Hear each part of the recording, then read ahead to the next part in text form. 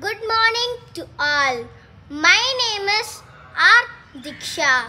I'm study in 7th standard in Fisco's Matriculation School and I'm also a student of Junior IAS Academy.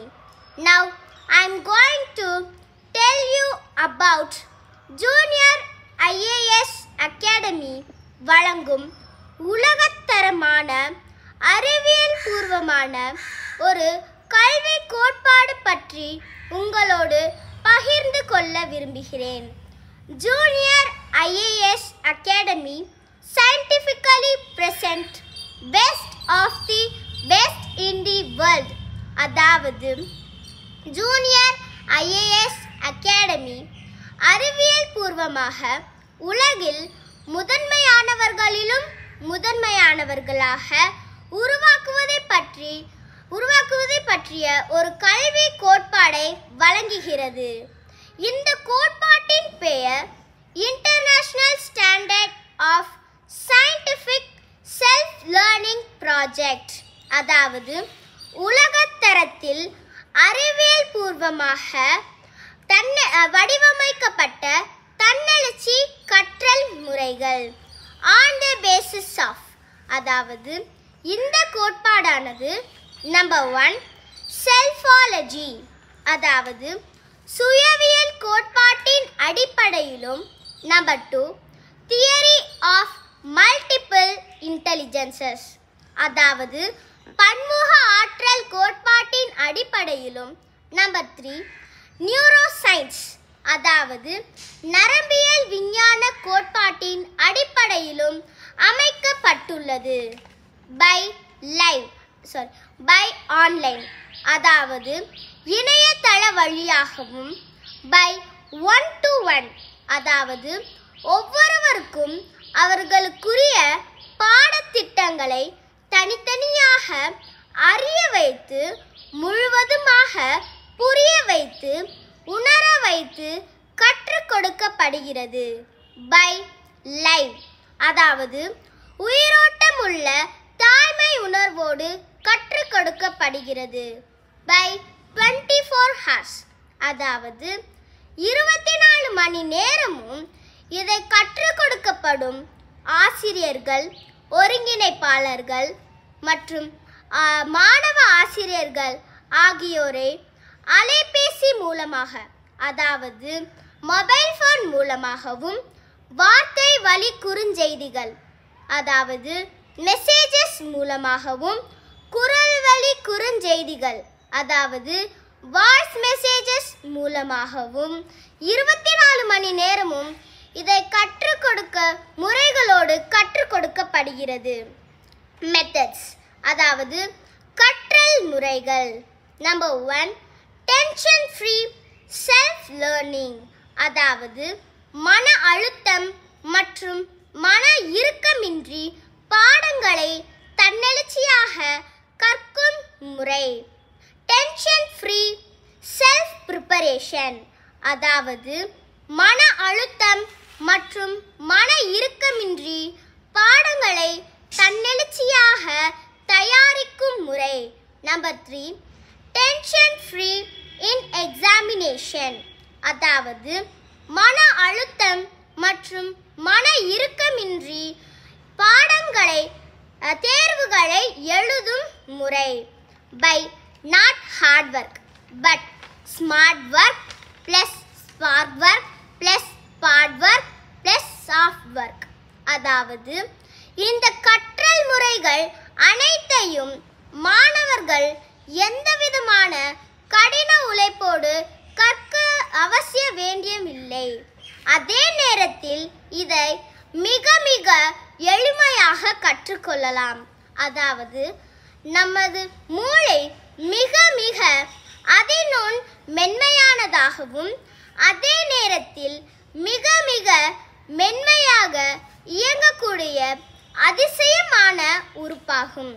அதனால்தான் மாணவர்கள் தங்களுடைய பாடங்களை number one smart work அதாவது அறிவுபூர்வமாகவும் அறிவியல் பூர்வமாகவும் நுணுக்கமான முறையில் செய்தல். நம்பர் டூ ஸ்பார்க் ஒர்க் அதாவது நுண்மின்னல் முறையிலும். நம்பர் த்ரீ ஸ்பார்ட் ஒர்க் அதாவது அதற்குரிய நூறு சதவீத எந்தவிதமான புற பாதிப்பு இல்லாத இடத்தில் கற்றுக்கொள்ளல். நம்பர் ஃபோர் சாஃப்ட் ஒர்க் அதாவது அதனுள் மென்முறையில் கற்றுக்கொள்ளல். இதை ஐந்து நிர்வாகத்தின் துணையோடு செய்தல். இந்த கோட்பாடை கற்று முறைப்படுத்த number one identification of genetical intelligence அதாவது ஒவ்வொரு மாணவர்களுடைய மரபணு திறன்களை முதலிலே நாம் இனம் காண வேண்டும். Number two classification of genetical intelligence அதாவது இனங்கண்ட மரபணு திறன்களை பகுத்து வகுத்த வேண்டும். Number three channelisation of genetical intelligence அதாவது பகுத்து வகுத்த மரபணு திறன்களை முறையாக அறிவியல் பூர்வமாக சீராய்வு இயக்க வேண்டும். வித் ஃபாலோ மேனேஜ்மெண்ட் அதாவது இந்த கற்றல் முறை கோட்பாடை கீழ்கண்ட நிர்வாகத்தின்படி இணைத்து நாம் செயல்படுத்த வேண்டும். நம்பர் ஒன் ஃபுட் மேனேஜ்மெண்ட் அதாவது உணவு நிர்வாகம். நம்பர் டூ பாடி மேனேஜ்மெண்ட் அதாவது உடல் நிர்வாகம். நம்பர் த்ரீ டைம் மேனேஜ்மெண்ட் அதாவது நேர நிர்வாகம். நம்பர் ஃபோர் பிரெயின் மேனேஜ்மெண்ட் அதாவது மூளை நிர்வாகம். நம்பர் ஃபைவ் பொட்டன்ஷியல் மேனேஜ்மெண்ட் அதாவது ஆற்றல் நிர்வாகம். அதற்கு செயல்படுத்தும் கோட்பாடுகள். Number one attention is meditation in school அதாவது கவனமே தியானம் இன் வகுப்பில்.